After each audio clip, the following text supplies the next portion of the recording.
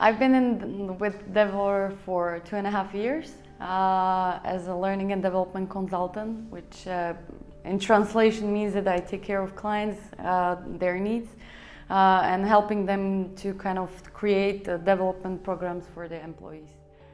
In the past year, I'm also delivering training myself, uh, mainly in the topic of um, personal effectiveness, which means presentation skills, presentation design, and my favorite, my passion one, is uh, visualization and graphic recording. Uh, and more and more I'm uh, delivering training in personal typology, which I really believe in because I can see that working in real life in Develor that it really helps us to be better version of ourselves.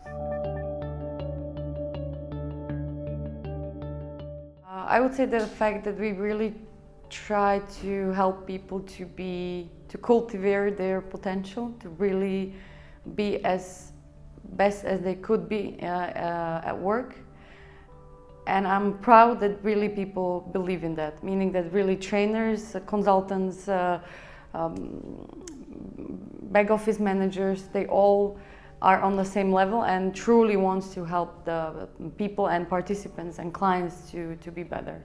Mm -hmm. Wanted to be a moderator uh, or reporter uh, in the TV, uh, which I actually tried as a kid. I had a camera on uh, and I had kind of shows with my friends where I invited them for an interview, which was in within age of me being six till I think 12 or 13. And then somehow it changed for me studying civil engineering. So, and now being a trainer and a consultant.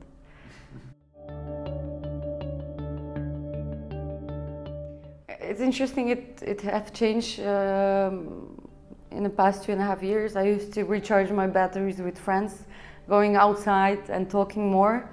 Uh, but after two and a half years, now I recharge more with, with sport and drawing. It's growth. I think uh, for me, if you would say that learning and development is and and ended a process, I would be very frustrated. If you tell me like, if you learn this, you're done, uh, for me it would be a blocker. So for me it's, it's continuous grow, live learning, education and so on.